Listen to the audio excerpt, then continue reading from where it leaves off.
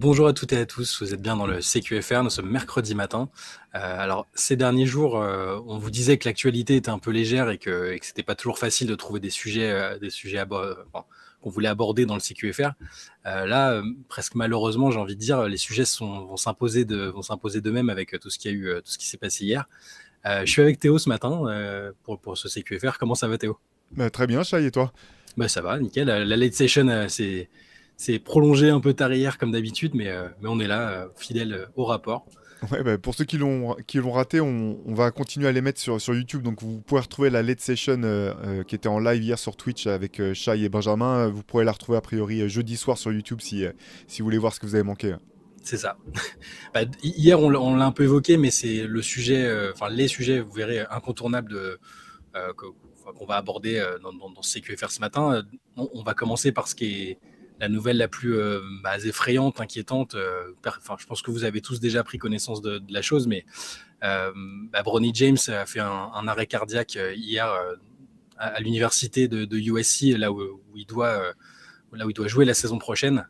Et, donc, il a fait un arrêt cardiaque. C'est Sham Charania qui a relayé la nouvelle. Fort heureusement, il n'y a pas eu plus d'inquiétude que ça immédiatement parce que on a tout de suite su que son état était stable euh, et qu'il avait quitté les soins intensifs, ce qui est quand même le, principal. Ça veut dire qu'il euh, n'y a pas d'assistance respiratoire et qu'a priori, quand l'état est stable, c'est qu'il n'y a pas de, Ses jours ne sont pas en danger.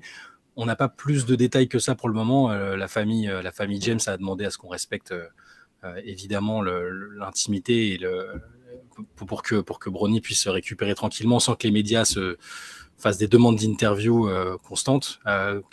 Qu'est-ce que tu as, qu'est-ce que as ressenti en apprenant la nouvelle, euh, Théo?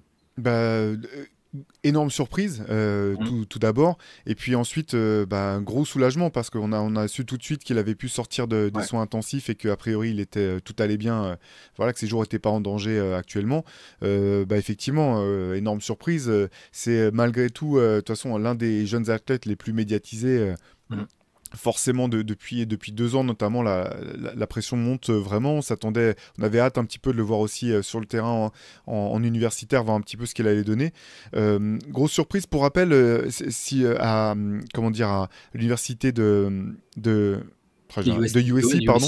Ouais, il y, a eu un cas précédent l'an dernier là de Vincent Iwuchukwu euh, qui a un petit, quasiment les mêmes, les mêmes circonstances dans un, pendant un workout comme, comme ça. Et finalement, bon, euh, il a pu reprendre cette année. Il a même joué euh, une dizaine de matchs, si, je ne me trompe pas. Donc, il y a eu beaucoup de précipitations. On a entendu beaucoup de choses autour de, de Brony. voilà, maintenant, il faut voir effectivement les causes de, de, cet arrêt cardiaque. quelle est la situation réelle Je pense qu'on va en apprendre de, plus en plus dans, dans les jours qui viennent. Parce que voilà, la question. Enfin, première, comme je te disais, soulagement de savoir que ces jours sont pas en danger. Maintenant, euh, la question sera de savoir euh, éventuellement si, euh, s'il peut reprendre le sport, toujours imaginer voilà, une carrière dans le sport professionnel. Ça, c'est des choses qu'on, qu'on découvrira, je pense, dans, dans, les jours qui vont venir ou dans les semaines qui vont venir. Ouais, c'est ça, parce qu'on ne sait pas s'il s'agit de, ça peut être une malformation cardiaque, ça peut être plein, enfin, plein de choses. On a vu des cas divers et variés dans le sport professionnel. Encore une fois, quelqu'un en parlait dans la Session d'hier. Il y a le cas du footballeur Christian Eriksen euh, qui, en pleine Coupe du Monde, euh, avait fait un arrêt cardiaque. C'était extrêmement spectaculaire et effrayant parce que toute la planète l'avait vu. Euh, il s'est avéré qu'après plusieurs mois, après des traitements, après s'être fait placer un appareil au niveau du cœur, il a repris une carrière au très très haut niveau. Hein. Il joue à Manchester United et, il joue toujours en sélection. il, peut, c'est-à-dire que là, on, ne va pas tout de suite dire sa carrière professionnelle est finie. Enfin, on, ne sait absolument pas ce qui s'est passé. On sait juste qu'à l'heure qu'il est, il va bien. Euh, enfin, il va bien, il va, il va mieux. la situation est moins inquiétante que, que ce qu'on aurait pu craindre au début. Et, euh, après, on, verra. Je veux dire, euh, ce qui est, ce toujours, ce qui est toujours malheureux, c'est que immédiatement après la nouvelle, après c'est le jeu de Twitter et des réseaux. On sait, on, on sait que parfois c'est le caniveau, mais tout de suite c'était euh, ah bah voilà, il, a sans doute été vacciné contre le Covid, encore un qui, passe. Euh, on, lit aussi des ah bah ça doit être le dopage euh, comme son père. Enfin, on lit des trucs, c'est assez terrible. Alors qu'il est, on sait absolument pas ce qu'il en est. Et, c'est très certainement pas le fait d'avoir été vacciné ou non contre, contre le Covid ou autre chose qui, a provoqué ça. Ouais, bah tu fais bien le, souligner parce qu'une partie de la polémique est partie d'un tweet ou d'un tweet ou d'un, je sais pas comment on dit, on doit dire des ex, comment on doit dire maintenant pour, pour ça, de, pas. de la part d'Elon Musk, effectivement, qui euh, un tweet qui veut un peu qui veut tout rien, qui veut tout et rien dire quoi, mais mm. qui laissait entendre malgré tout que peut-être que le vaccin aurait pu avoir un, jouer jouer un le vaccin anti-Covid aurait pu jouer un rôle. Euh, il parlait de myocardite, une info qui a tout de suite été reprise par, par Fox, notamment par une journaliste Ingram. Classique, mais oui. Voilà, voilà la, fameuse qui la fameuse, voilà, qui, si je me trompe pas, c'est bien elle qui disait à LeBron qu'il ferait mieux de se contenter de, de, la fermer et de shut up and dribble, voilà, et de, de, dribbler, de dribbler.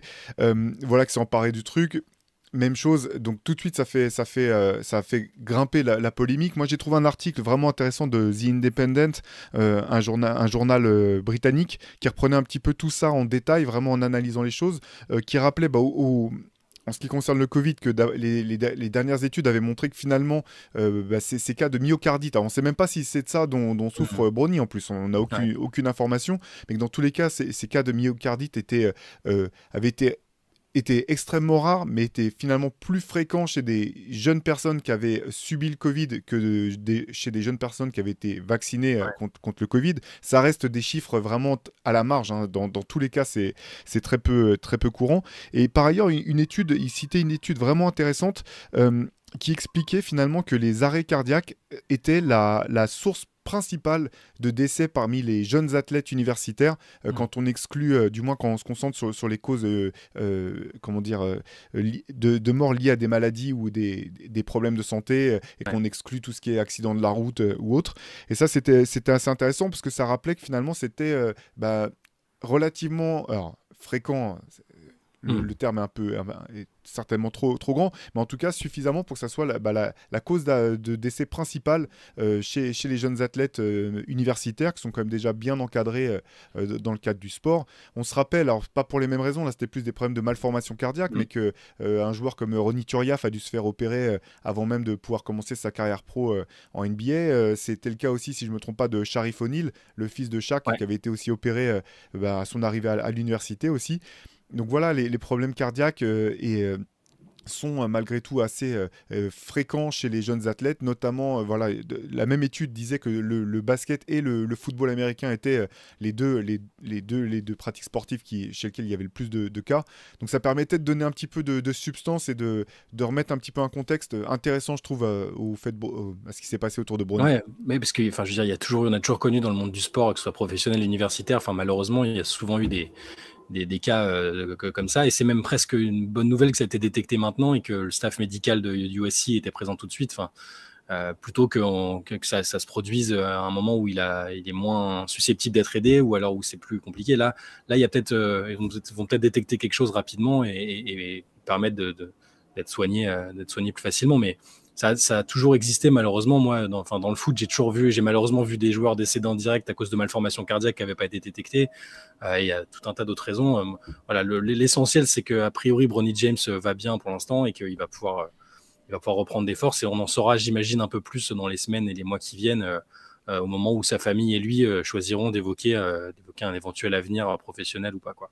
Ouais, bah Et puis on peut, côté basket, euh, on se rappelle aussi de Hank Gathers, euh, gros, euh, gros prospect universitaire, qui, est, pareil décédé d'un arrêt cardiaque hum. sur un terrain, ou Reggie Lewis aussi, dont on parlait dans, dans, dans, le MOOC spécial Boston. voilà, un joueur, un des joueurs qui m'avait vraiment fait kiffer, que j'adorais quand j'étais gamin. Donc, donc malheureusement, on sait que, c'est que, ça, que ça arrive. Comme, comme toi, en fait, je pense que vu son âge, c'est si effectivement il y a un problème, autant qu'il soit pris le hum. plus vite possible, qu'il puisse savoir ce qu'il en est et puis ensuite qu'il puisse euh, euh, voilà continuer euh, à vivre sa vie et puis finalement forcément nous on est voilà on parle de basket on parle de sport mais c'est pas au, bout du compte c'est pas le plus important hein. l'important c'est que que tout semble aller bien pour l'instant et puis après on verra on verra bien ce qu'il en est ouais, ouais, ça reste un gamin de 18 ans enfin on n'a pas envie de c'est vraiment pas les choses qu'on a envie de lire et de et, d'apprendre mais en tout cas on, on va souhaiter avoir de bonnes nouvelles rapidement et euh, que la santé passe évidemment avant tout. Euh, l'autre actualité du jour, euh, on l'a appris peu de temps après cette, nouvelle sur Brony, c'est quand même la, prolongation attendue, espérée par, beaucoup de, Jalen Brown au Boston Celtics.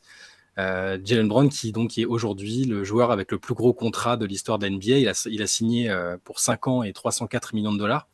Alors là aussi, j'ai lu un peu sur le coup des gens qui étaient surpris. Ah bon, ah bah, c'est que Jalen Brown, euh, autant d'argent pour seulement lui, mais ce serait euh, oublié, enfin ce serait euh, refusé de vouloir mettre en contexte cette prolongation, le fait que le salary cap va augmenter, que plein d'autres joueurs vont probablement signer dans les semaines et les mois qui viennent des, contrats supérieurs, peut-être aussi sous-estimer ce, qu'est Jalen Brown comme joueur et la situation des Celtics, mais en tout cas c'est une information importante et qui n'est pas anecdotique à l'heure qu'il est pour l'avenir des Celtics, pour l'avenir de Jalen Brown.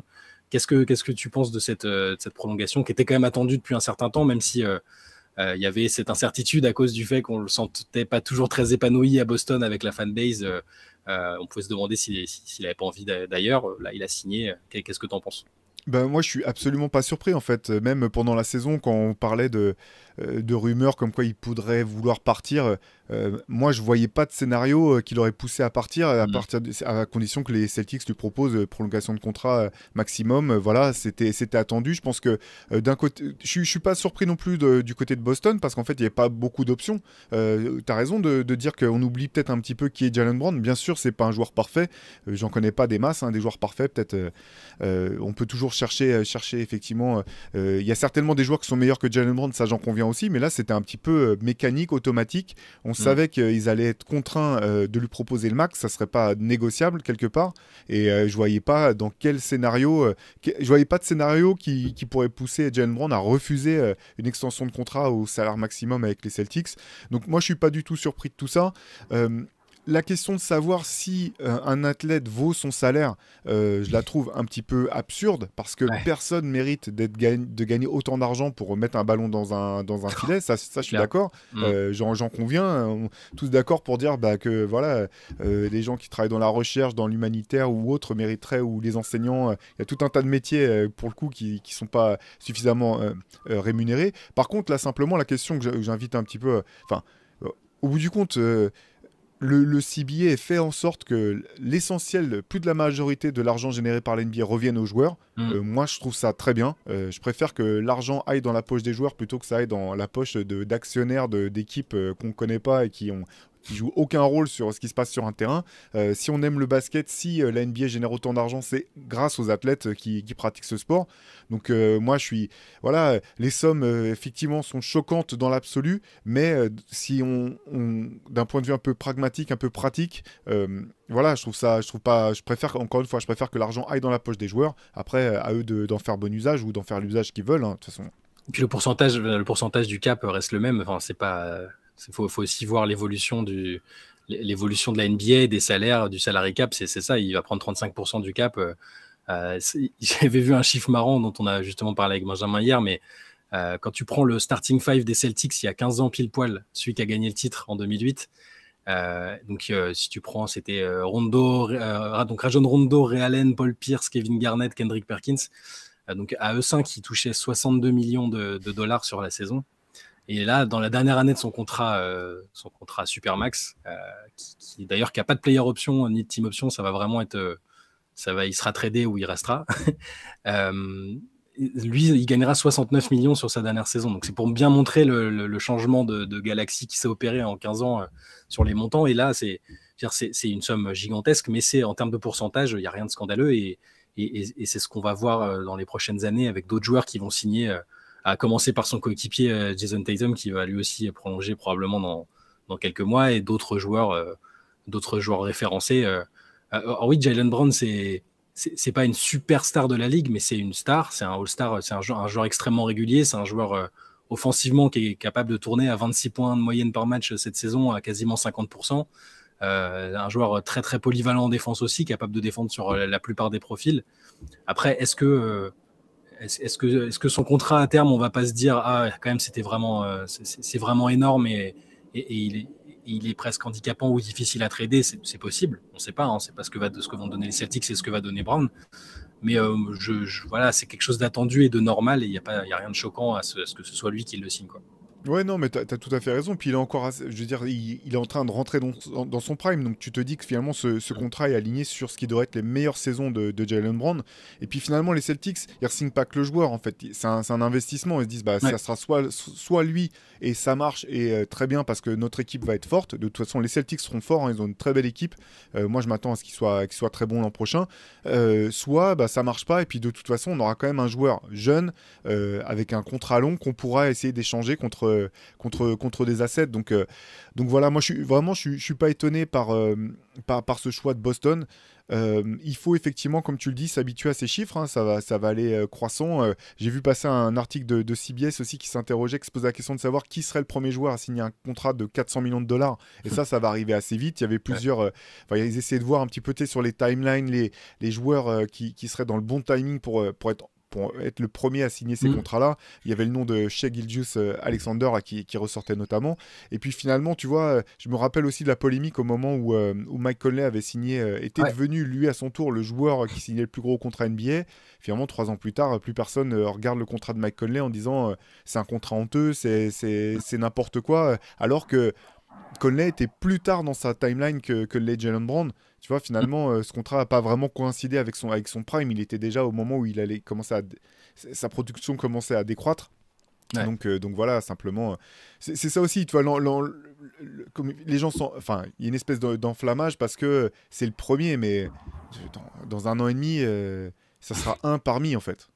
Ouais, c'est ça. Et puis, euh, moi, si, aujourd'hui tu me demandes est-ce qu'il est va faire ses 5 ans, est-ce que les Celtics vont, vont être l'équipe qui vont lui donner euh, ces, ces sous-là euh, dans 3, 4 ou 5 ans, en sachant qu'il a un trade kicker, donc il a un pourcentage qui lui reviendra s'il est tradé, donc il a un intéressement dessus. Je pense que c'est aussi peut-être pour ça que ça a traîné, c'est qu'il c'est pas juste parce qu'il est parti en vacances, hein, c'est parce qu'ils ont, ça devait négocier assez dur sur certains points de détail en termes d'options, d'options d'équipe, d'options de joueurs, de, justement de, pourcentage sur un trade. si, si on me demande là est-ce que, je le, que je le vois faire les 5 ans aux, Celtics Je suis pas sûr. Je, pense, comme tu disais, que c'est un, atout. Euh, ils, ont fait, ils ont fait augmenter sa, valeur en tant qu'atout aussi euh, par, ce, par ce nouveau contrat. Et, euh, il a que 27 ans. Donc je pense que même si c'est dans 3 ans, il, il, restera encore dans son prime. Et il y a des équipes qui, pourront parfaitement vouloir de lui. Je, répète que c'est un joueur. Moi, c'est pas forcément un joueur dont je suis fan à la, base. Hein. je ne vais pas le cacher. je trouve qu'il a quelques limites Oh, bah, les gens parlent beaucoup de son dribble, enfin de son incapacité à dribbler et tout. Bon, mais, euh, mais par contre, je trouve que c'est un joueur qui est, enfin, sa régularité, je trouve que c'est un métronome en termes de régularité. Tu sais exactement ce qu'il va t'apporter. Si Jason Tatum, qui est la star identifiée de l'équipe, est un peu moins bien au scoring en termes d'adresse ou, autre, tu sais que lui, il est là et il y a très peu de joueurs euh, sur lesquels tu, euh, pour lesquels tu peux te dire, bah c'est bon, lui, c'est un, c'est vraiment un numéro 1 bis, je trouve. tu, tu, tu, vois, il est pas, c'est pas juste un lieutenant. Lui-même, d'ailleurs, je pense qu'en termes d'ego, il me suis, on, peut, on peut imaginer qu'il aspire à, être considéré comme un petit peu plus qu'un lieutenant ou qu'un numéro 1 bis euh, et, il va avoir l'occasion de le prouver. Ouais, non, mais je, suis d'accord avec toi, c'est un joueur d'impact. Effectivement, on peut pointer euh, du, doigt ses, lacunes et c'est, bah, il faut le faire parce que finalement, euh, mm. euh, Boston, ça fait quoi ils ont, ils ont fait cinq finales de conférence, si je me trompe pas, ces, dernières années. Mm. C'est une équipe qui, qui, joue pour gagner le titre. Donc c'est normal quand, quand tu as ces, ces ambitions-là que, que, tes défauts soient pointés du doigt. Par contre, voilà, il faut pas oublier ce qu'il apporte non plus. Il était dans, la deuxième, dans le deuxième meilleur 5 NBA cette saison mm. encore je suis pour son avenir aux Celtics, je pense que ça, dépendra des résultats de l'équipe, donc ça ne dépend pas que de lui, quoi. Mais en tout cas, voilà, Boston, au moins, je trouve qu'il y a une direction qui est forte. Ils savent quelle équipe ils vont partir. Euh, ils savent quels sont les quels sont les objectifs. Maintenant, quand tu as un salaire comme ça, il y a les responsabilités aussi qui vont avec. Euh, voilà, il va falloir que cette équipe maintenant monte sur le papier, sur le terrain, pardon, qu'elle peut être aussi forte que ce qu'elle a montré par, par euh, séquence les années dernières et ce, que, ce à quoi elle ressemble sur le, sur le papier. Moi, je vais dire, j'aime bien le fait que. Alors, pourtant, je, pense être, euh, euh, avoir peut-être fait partie de ceux qui, qui, estimaient que le, tandem, euh, le tandem Tatum Brown avait peut-être vocation à être séparé à un moment et que c'était peut-être pas l'idéal pour remporter le titre. mais pour autant, je suis content de voir une équipe insister. sur ses idées parce que ça, a plus ou moins bien marché. Ils sont jamais, ils sont, ils ont été en finale, ils ont été en finale de conférence. On n'est pas quand même dans une situation où où, c'est que Jalen Brown qui fait perdre l'équipe, euh, où, euh, où, il y a zéro chance d'atteindre les finales. Ils en sont pas loin avec deux joueurs euh, majeurs qui sont dans leur prime. je veux dire, c'est, l'équipe autour a été un peu remodelée. J'aime bien ce côté stabilité. C'est quelque chose que je trouve qui, parfois manque un peu, où les joueurs maintenant ont tendance à partir vite et à vouloir trouver de meilleures situations, ce qui est, logique hein, pour eux, je, le comprends, mais j'aime bien savoir que Boston est prêt, entre guillemets, à mourir avec ses idées, et autour de son tandem, de ce tandem-là, Enfin, c'est des joueurs qu'ils ont draftés, donc c'est ce que j'aime aussi à Golden State. Euh, on insiste avec Curry, avec Thompson, avec Draymond Green. ils vont jusqu'au bout avec leurs gars et c'est un côté un peu old school que, que, j'aime assez en fait. Non, mais je suis, d'accord avec toi. Puis c'est tellement dur de, de, pouvoir rassembler deux stars, voire deux mm. superstars, dans le, enfin, dans, le cas de Jason Tatum, dans leur prime. C'est tellement dur que quand bah on a deux, euh, faut que tu, bah voilà, moi je, je, je suis d'accord avec toi, il faut que tu essaies de trouver euh, le au maximum les, les moyens de, de, les faire performer au plus haut niveau. Je veux dire, si tu as Shaq et Kobe, si tu as même Jamal Murray et Jokic, c'est deux joueurs parfaitement complémentaires, euh, bah, c'est plus simple. Je suis d'accord, tu vois, le, mm. finalement la limite, c'est pas sur le talent de Jalen Brown, c'est sur le, le fait que Jalen Brown et Jason Tatum aient des atouts qui soient quasi similaires en fait et que c'est plus dur du coup de, d'en, tirer le, maximum. Peut-être que quand tu as euh, un grand et un, arrière dans, les cas des, exemples que, j'ai cités mais c'est tellement dur d'avoir deux joueurs de ce niveau là ensemble euh, jeunes euh, qui sont dans leur prime que moi je comprends tout à fait que Boston euh, tente le Vatou. Euh, euh, les Celtics en plus sont bien, sont, enfin, sont bien placés en tant que franchise pour savoir à quel point c'est dur. Ils savent aussi que quand ça a été le cas, ils en ont tiré le maximum. On peut repenser que ce soit les, années, les équipes des années 60, celles des années 80, où, où alors là c'était finalement ils étaient tous sortis de leur prime, mais ils étaient quand même sur la même timeline pour le, Big 3 de, 2008. Ils savent que, ce que ça peut donner quand tu as ces joueurs euh, comme ça euh, que, tu peux assembler. Moi, je comprends qu'ils voilà, tentent le va-tout. Sur le salaire, encore une fois, hein, je, suis d'accord, euh, tout le monde, les sommes à son, dans, le sport professionnel peuvent être choquantes. Et en même temps, tu vois, il y, a quelque chose que je trouve Aujourd'hui, on parle souvent de, euh, d'un point de vue sociétal, un petit peu, on met en avant la réussite à tout prix. Euh, il y a beaucoup de gens qui se présentent comme des self-made made, quand des self-made made, quand tu main, made, pardon, excuse-moi, j'ai, made men. Euh, quand tu regardes dans le détail, il n'y en a pas tellement en fait, hein, notamment dans tous ces grands capitaines d'entreprise bah qui jouent les mecs qui sont faits à la force du poignet. Quand tu regardes un petit peu, c'est jamais le cas. Ce que je trouve finalement assez admirable avec le sport professionnel, c'est que dans l'essentiel des cas, c'est vraiment pour le coup des gens qui sont, euh, bah, ils se sont créés. Alors bien sûr, ils ont été aidés sur le chemin, ils ont rencontré les bonnes personnes, les bons groupes qui leur ont permis d'accéder au niveau auquel ils accèdent. Mais quand tu regardes un petit peu, euh, pour le coup, voilà, c'est vraiment des, gens qui sont, euh, qui sont donnés les moyens, qui sortent souvent de, bah, de, de, situations compliquées, précaires, etc. Voilà, je trouve que c'est quand même des vrais exemples de réussite on en pense ce qu'on veut, hein, chacun en pense ce qu'on veut, mais il y avait, y avait le truc de. Je crois que c'était une phrase de Drake, là. C'est rare que je cite du Drake, du Drake mais euh, où t'étais quand j'étais à la salle euh, pour m'entraîner euh, Voilà, on, on, juge les fruits que les mecs récoltent, mais effectivement, c'est des gens qui s'astreignent à une, rigueur de vie depuis qu'ils ont, qu'ils ont 13 ans. voilà, ils, récoltent les fruits de leur succès. Moi, ça me choque pas plus que ça. Il faut, rappeler qu'il il y a un tweet qui est ressorti de, de, Jalen Brown en 2014, donc deux ans avant qu'il entre à la fac de, California.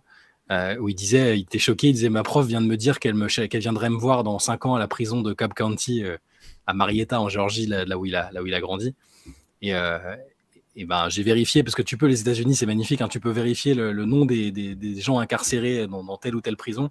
Il y a 17 personnes dont le nom de famille est Brown, mais j'ai pas vu Jalen Brown en prison euh, dans le pénitencier de, de Cobb County. Donc, euh, c'est voilà, on lui certains lui promettaient euh, la prison, d'autres disaient qu'il était trop intelligent pour son propre bien à la fac, en, disant qu'il réfléchissait peut-être trop et qu'il allait causer des problèmes à ses coachs et tout ça. Bon, bah, écoute, c'est un, un, joueur et un personnage un, peu particulier. Hein, c'est c'est pas, pas le joueur lambda, mais euh, c'est le joueur euh, à l'instant T, le mieux avec le plus gros contrat de l'histoire de la NBA, un multiple All-Star et un joueur euh, dont l'équipe va se battre pour le titre la saison prochaine.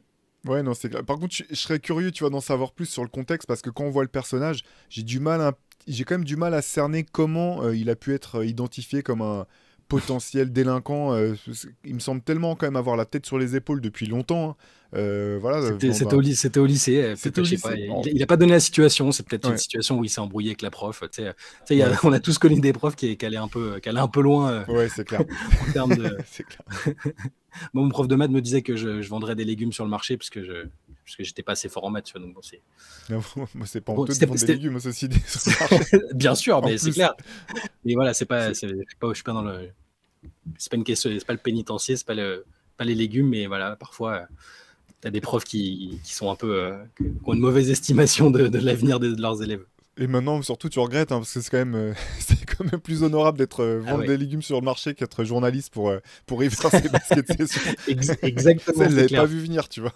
C'est clair, finalement, c'est lui, finalement, c'est lui qui avait raison. Bon, bah, voilà, on va rester là pour aujourd'hui euh, sur, sur ce CQFR du, du mercredi matin. Euh, encore une fois, vous pourrez retrouver le, le replay de la, de la, de la late session d'hier euh, sur YouTube jeudi. Bon, le replay est dispo sur Twitch, hein, mais c'est pour, pour les gens qui n'ont pas forcément l'habitude d'aller dessus. C'est peut-être plus simple d'attendre YouTube jeudi soir. il reste notre podcast de la semaine de lundi qui est, toujours en ligne. Et, et, puis voilà, sinon on se retrouve, on se retrouve demain matin fidèle au poste pour évoquer l'actualité de, de la NBA pendant ses vacances. Bonne journée à tous. À demain.